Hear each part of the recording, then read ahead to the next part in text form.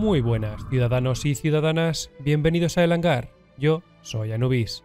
Hoy os vamos a traer el último Reverse Diverse que se hizo este viernes pasado, que bueno, no fue especialmente bueno, pero bueno, alguna cosita se comentó. Así que vamos a resumirla bastante y a traerosla pues para que la disfrutéis. Vamos allá. Para poneros un poco en contexto, eh, deciros que esta reunión, pues, este Reverse Diverse, se hizo una especie de reunión multi-webcam la que eh, hablaban los equipos de, de IT, ¿no? que viene a ser la tecnología de la información, equipos de IT, IT. Claro, lo primero que nos cuentan y lo que podemos ver realmente en pantalla es que son muy poquitos. Eh, entre todos no pueden mantener eh, ese servicio 24 horas que un proyecto como este necesita. Aún así, debido a su, a su sobreesfuerzo y dedicación, la verdad es que más o menos lo van solucionando. Añadido a esto, una de las cosas en las que se dedican o a las que se dedican es a la organización de los eventos eh, masivos. Por ejemplo, CitizenCon.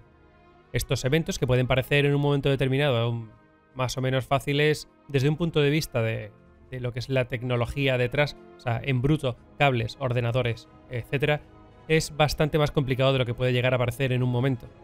No solo eso, sino que aprovechan eh, para contar un par de anécdotas durante lo que es la retransmisión en las que, bueno, básicamente muchas veces actualizan, eh, gestionan, crean eh, la, base para que todo funcione bien, incluso durante de lo que es el evento, ¿no?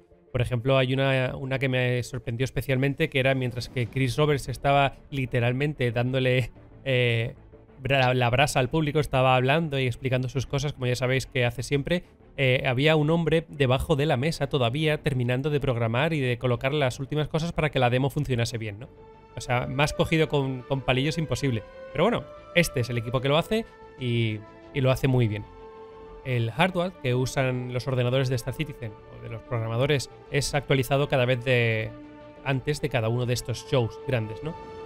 De hecho, muchas de las configuraciones de hardware que realizan para este tipo de eventos al final se quedan eh, evidentemente se quedan ya hechas para los propios programadores. Y es que muchas veces cuando llegan allí empiezan a, trastear ¿no? con estos aparatos y, dicen, ¿por qué no tengo esto yo en mi oficina? Total, que al final, efectivamente, así más o menos es como este tipo de pasos como van evolucionando el equipo. Tienen un equipo brutal. Estamos hablando de i7 8086K que está overclockeado para que funcione a 5 GHz y que además tiene pues refrigeración líquida. 32 GB de RAM, disco duros, eh, os podéis imaginar de SS, o sea, los Optane estos que les dio eh, Intel. Y por supuesto, bueno, pues una amplia gama de tarjetas gráficas que ya os digo yo que malas no son. Y me temo que ya está. Si es que la verdad es que lo que es este Reverse Diverse ha sido más o menos una especie de eh, recordatorio, ¿no? han estado contando anécdotas de todas las cosas que le han estado pasando, que bueno, pueden tener más o menos gracia, pero no tienen mucho que ver con, con el desarrollo de Star Citizen. Eso sí, de la misma manera que no me gusta hacer vídeos larguísimos, tampoco me gusta hacerlos demasiado cortos, así que voy a aprovechar este ratito para deciros un par de cosas. La primera, como ya sabéis, los Evocati tienen en sus manos las versiones de la 3.5 eh, de prueba. Están probando el nuevo modelo de vuelo, por el cual, bueno, hay distintos... Eh, hay gente que le gusta, gente que no mucho. Va a cambiar bastante eh, el paradigma del vuelo dentro de Star Citizen, así que, bueno, más nos vale estar preparados. Por otra parte, también han estado probando con una serie de naves limitadas, como por ejemplo eh, Vanguard, la Gladius, la, Merlin, ¿no? Que son las que les han dejado, pero bueno, por ahora eh, es lo que hay. Cuando a medida que avancemos o que avancen un poco, pues probablemente se podrá algo más.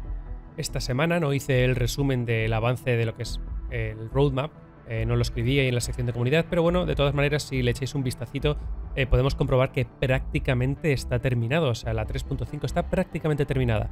Así que no os sorprende absolutamente nada que para este fin de semana tengamos una, la primera oleada del PTU para el resto de, personas, empezando por los suscriptores y eh, con Search y después se irá ampliando poco a poco.